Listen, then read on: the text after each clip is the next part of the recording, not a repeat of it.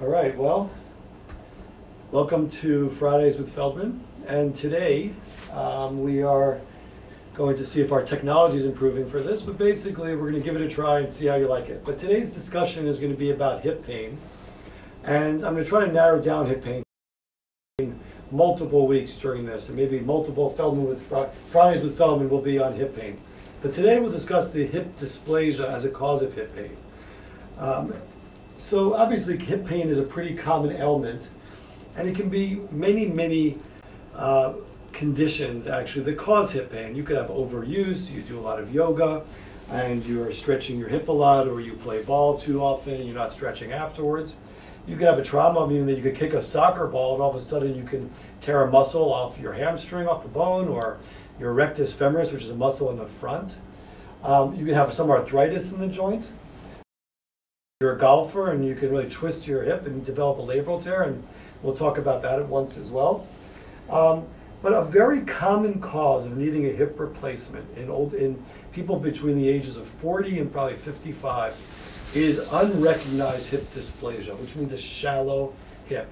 This is dysplasia of cancer, like you hear uh, from other types of surgeons. This is a dysplasia of shallowness. The hip itself is shallow. And we're going to talk about that because it could also be too deep. There's also other assorted conditions that can give people um, hip pain. And we, discussed one a couple weeks ago called Perthes disease. And we also femoral epiphysis. But those don't need to be going into. We're going to be discussing hip dysplasia. So the maximum or the most extreme form of hip dysplasia would be a hip dislocation. Hip is actually out at birth, and the child needs to be treated. Well, that's obvious. The hip is out, and most likely the child either walks with a limp or the, the pediatrician notices that the motion is not good in the hip. And therefore, um, we treat that as pediatric orthopedic surgeons very young. But I treat the hip dysplasia from the age of newborns all the way to the age to 65 or even 70 because hip dysplasia can and it's not always so, it's not location. But if it is dislocated in a newborn baby, then we treat it these ways. We put it back in, and it's called developmental dysplasia of the hip. And it's often associated also with a shallow hip. This is just an x-ray of a normal x-ray, if you can see the picture, and showing the round, the round ball in the deep socket. And the socket is called your acetabular. And the, the thigh bone head is called the femoral head. And there's all these angles that we measure that make it pretty obvious um, when it's shallow. So what makes, what is at risk? When are people at risk for having shallow hips? So you're at risk when you're a firstborn, when you're a girl, when you're a woman. Presentation. You have a family, excuse me, you have a family history of it. Perhaps the child, the mother did not have enough uh, fluid in the, uh, in the, uh, in the uterus, and that's called oligohydramnios in the placenta, where there's not enough fluid. Left side is more common than right side, and if it's associated with something else, then perhaps with the patient. But most of the time, hip dysplasia we find in healthy young women, more commonly women than men, between the ages of 16 and I would say 45 is the common age that I treated in. Well, we wanted to find the pain. Obviously, is there pain? When are you getting pain? When you're sitting, when you're walking, when you're taking your car, when you're taking a hike, when you're leaning forward, when you're in bed. So all these things help us understand, is it a shallow hip or is the hip too deep? Why is this hip hurting? And obviously the goal is to have a functioning hip that is that is moving normally and that is and normally. And we'll discuss that as we go along. So these are two forms of hip dysplasia that I would consider. The one on your on your left is a um, is basically when the hip is too shallow. And so what happens is this ball is in a very shallow, sh shallow socket, and you're hitting it, hitting it, hitting it in one spot. And that one spot is getting worn out. And that's why you're getting it at a later age.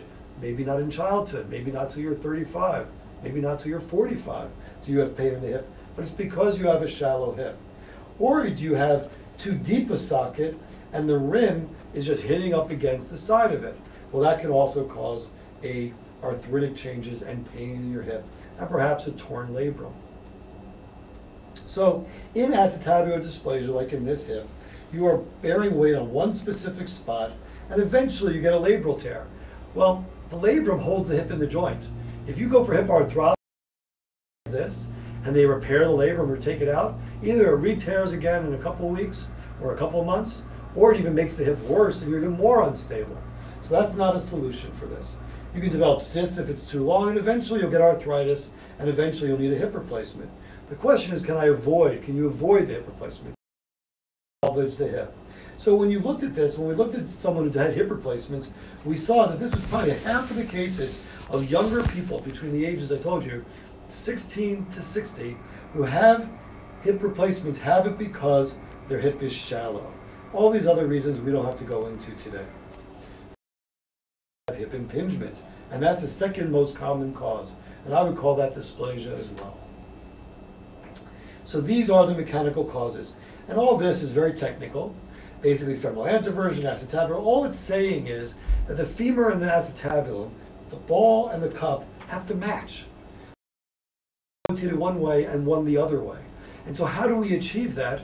Well, we achieve it by sometimes changing the position of the cup or changing the position of the femur. And that's the only way that you can really fix acetabular dysplasia, hip dysplasia, before there's arthritis. So I'm going to show you why we think this is so significant. When I visited Professor Ganz, he, gave, he allowed me to take this case, and it was from the library in Bern where this osteotomy was described, called the Ganz osteotomy or the periacetabular osteotomy. And here you have a one-year-old young girl with a dislocated hip. And now we're going to go through the natural history of what happens. So they put the hips back in, and at three years of old, they're still very shallow, the hips, but at least the hips are in the joint, and the child does okay. And now the child's 12, now the child's 15 years old, or the patient's 15, and they're developing arthritis already. And then someone says, okay, let's put it deeper in the hip. So now they're age 16 and both sides are in the joint. And now they're age 28. Well, this side looks pretty good because it's deep in the cup. This side is doing that point loading, it's banging on one spot. So by the age of 43, they have complete arthritis, the joint is completely gone, pain, very painful, and the patient under. So that's what we're trying to avoid. That is the goal of this treatment. Now, they don't have to have dislocations, so we're going to produce a joint that's stable, that functions, doesn't need anything else, no replacement parts, and the screws are just to hold the bone after we move it. So you do an evaluation, we pain, we talk about the hip itself, we may get, we probably get an MRI, perhaps a CAT scan, or an MRI to show us the rotation, and we look at all these mechanical numbers that show it to us. And here you see these cysts in front of the hip. That's what this is, little ball. There's the femoral head in the cup of the acetabulum. And we have 3D modeling with CAT scans, what you can do about it. We have all these choices. Well, you can take anti-inflammatories like, you know, like, like ibuprofen or naproxen, which is like Motrin or Aleve. You can take some medications like chondroitin and glucosamine. You can do injections like intraarticular steroids or now PRP and stem cells. But all these things are temporizing. So yes, if you're gonna have a hip replacement, perhaps all these things are useful. But if you want to save the hip, then you should save it before arthritis develops. And that's why you get down to surgical correction. Repair the labrum with an arthroscopy, and then do like a pelvic osteotomy, or wait for a hip replacement. And there are many osteotomies described for pelvic osteotomies. Some are done in young children called Salter osteotomies, and then you get to what we're doing now, which is a Ganz or a paraosteotomy. And there are some other ones as well. So Bern, a beautiful city in Switzerland, is where, where Reinhold Ganz described this, and he wrote about it in 1988. Um, I went to visit him there, and, and, this was in the fall, I believe, 92, and here's, or 94, and this was a beautiful picture of, of Bern at that time, and there, and there's the arbor. Um, but basically, this was the most stable type of joint um, uh, reconstruction that allowed us to do everything we needed to do to fix hip dysplasia. And if you, if you have a good joint space, which means you don't have arthritis, then you're not going to develop arthritis if you fix it in 90% of the time. Arthritis, then perhaps it'll buy some time, but certainly not work as well.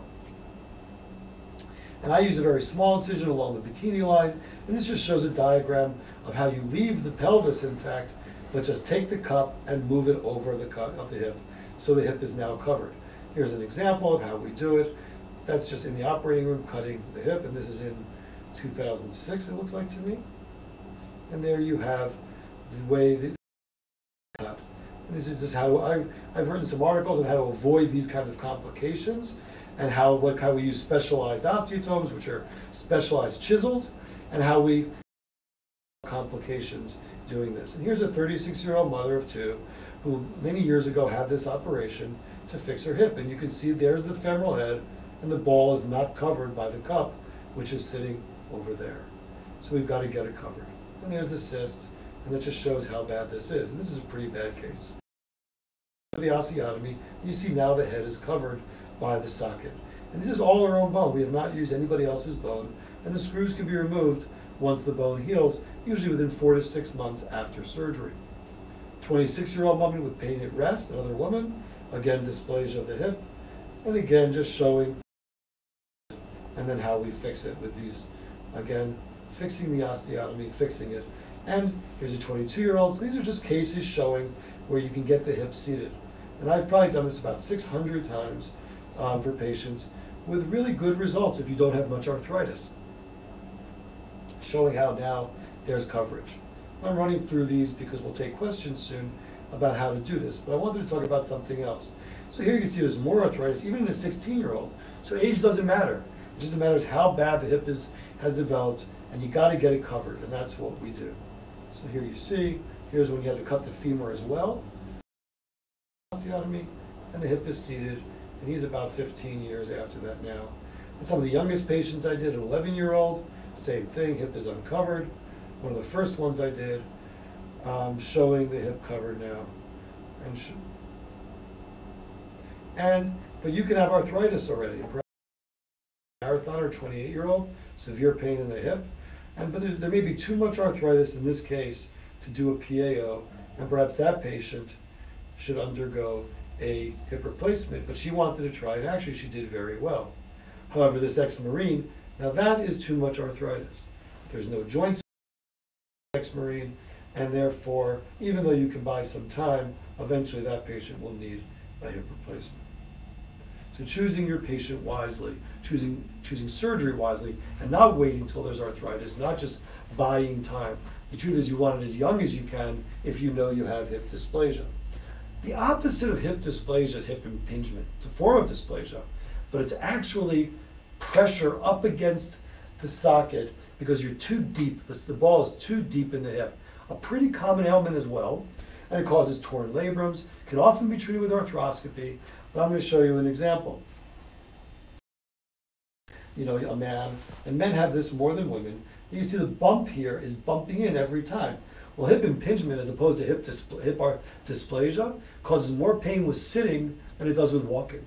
So you're sitting in the train going to work, you're sitting in the car driving to work, and that's when the pain develops and is more significant then. Surgical solutions, arthroscopy, and we talk about whether you dislocate the hip and you can actually create take the bone away that's, that's that is banging up against the surface, or you do a reverse PAO. And here's a young female cheerleader, almost a normal looking hip, except for the fact that the, the MRI shows that right into it. Again, banging into the hip, right in this little divot. Dr. Ganz, Professor Ganz called that a herniation, but basically every time she flexed, she hit this right into this. And there you can see now, for all those who want to close their eyes, if they're scared of looking at surgical, and that's what it looks like. So this should be all smooth. And there's the dent in the hip caused by the um, the impingement. And there's different ways to treat that. This was treated with a reverse PAO. That means I did the same osteotomy, but instead of getting, I got more, less coverage and more coverage in the back. So she wouldn't, every time she walked, she wouldn't bang. Every time she she sat, she wouldn't bang the hip.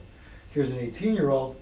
This is a surgical thing showing the bump where he's banging his hip. And again, there's the bump banging. Time he sat, he would bang into this area. This is Professor Ganz performing, and this is, here's the second portion of it. And basically, you can see the no longer banging into it. So there's many so there's many causes of arthritis of your hip. There's many causes of hip pain, but one common ailment is hip dysplasia or hip impingement. done at a young age if you have hip and if you have hip pain. And if you have hip dysplasia, then really buying time is not the answer. Fixing that is the answer. And arthroscopy may be an adjuvant or a start, but not the treatment of hip dysplasia. So we try to treat both impingement, most often with arthroscopy, dysplasia most often with um, surgical correction, whether this periacetabular osteotomy. And I think that differentiating the two and not and, and not and really knowing you're going to some surgeon who can read the x-rays and understand that you do have dysplasia and not just tell you to live with it because that used to be the answer. I don't think you have to live with it. And and I think the patients who I've treated will testify to the fact that their lives change as they um, as their hip is now stable and they can resume their normal activities in their lives. So I know I said a lot today. That was a pretty fast presentation on hip pain and hip dysplasia. I think it gives you an idea of how to assess your hip pain and, and how to see somebody who can help you to narrow down what is causing this chronic or acute hip pain, which means you either had it for a long time or a short period of time. So these are just describing that these are these are anatomic reason why you have them. Certainly everything is genetic. You know, if your mother had a hip replacement when she was 45, then likely you will need a hip replacement when you're 45. Um, and that is it. So we will RNA, uh, dysplasia or hip impingement. Happy to answer any questions out there on this uh, March 9th. What is today's date? March 16th. 16th, 2018. Inverted six. Yeah, so we have one question. Um, Jenny Nicolau asks uh, My son had surgery last year in Australia and they placed growing rods. I now live in Greece and worry in case he falls. Should I worry? So that's a spine question. Growing rods are rods in the spine. That's not related to hip today, but basically, I mean, I think you should speak to your surgeons. I mean, growing very secure, but that's not really the hip today. So we'll try to uh, answer that question when we discuss growing rods. But yes, I think that you know you need to speak to the surgeons who put the growing rods in the spine to discuss what the limitations are activity. All right, so we sign off today on hip dysplasia and. Uh, and happy to uh, take any emails uh, through our Facebook page and Facebook Live uh, to discuss uh, uh, this topic.